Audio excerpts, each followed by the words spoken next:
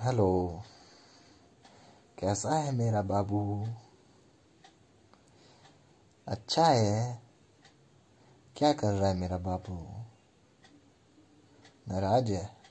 क्यों नाराज़ है मेरा बाबू? मेरे बाबू ने खाना खाया क्या? नहीं खाया बाबू ने।